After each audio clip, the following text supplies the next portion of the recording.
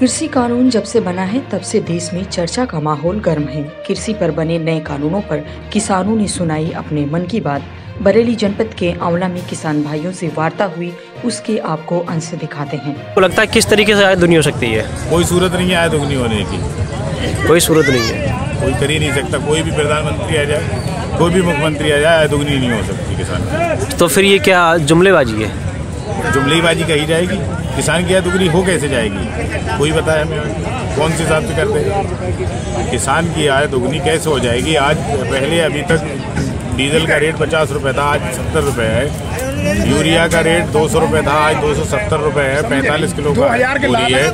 DAP सात सौ रुपये की छः सौ रुपये की थी आज बारह सौ रुपये की है वो भी मिल नहीं रही है। जो दवा हम लगाते हैं स्प्रे करते हैं कीटनाशक और घास की वो सौ रुपये में मिलती थी आज तीन सौ रुपये में मिल रही है एकड़ की दुगनी घास हो जाएगी? रेट हमारा दस साल पहले जो बासमती थी वो आठ हज़ार दस हज़ार रुपए को बिका करती थी बासमती जो भी। आज बासमती का रेट पैंतीस सौ तीन हज़ार रुपए हो नहीं पा रहा है। तो आय दुगनी कहाँ से हो जाएगी? कम हो रही है? सरकार कह रही है हमने इस बार धान खरीद का जो लक्ष्य था उससे ज़्यादा खरीदारी करी है। क्या आपका धान बिका सरकारी हमारा नहीं बिका। एमएसपी हमारे पूरे कहीं तहसील औला में नहीं लगी है। और लगी तो पता नहीं कहाँ कागजों में लग गई। आपने क्या रेट बेचा? हमारा तो हज़ार रुपए गया मोटा धान। और पंद्रह ज़ीरो नौ गया चौदह साढ़े चौदह सौ। मतलब एमएसपी रेट नहीं मिला कोई एमएसपी किसान बिल सरकार ने बनाई आप उसका समर्थन करते हैं क्या? नहीं करते। हैं क्यों नहीं करते? हैं क्यों नहीं करते हैं? इससे बिल से हमें क्या फ़ायदा हो रहा है? क्या?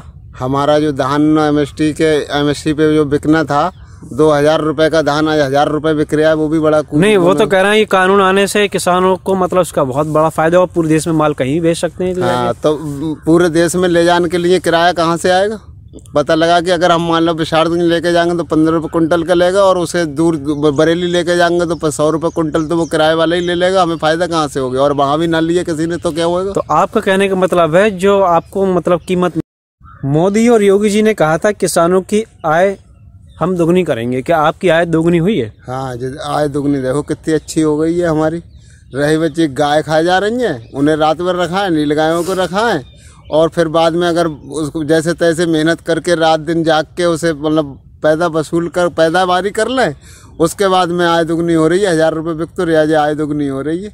और रहा पानी का सवाल अगर पानी की ज़रूरत होती है कि चलो वैसे ज़मीन में पानी नहीं था, अपने ट्यूबवेल लगवा लिए।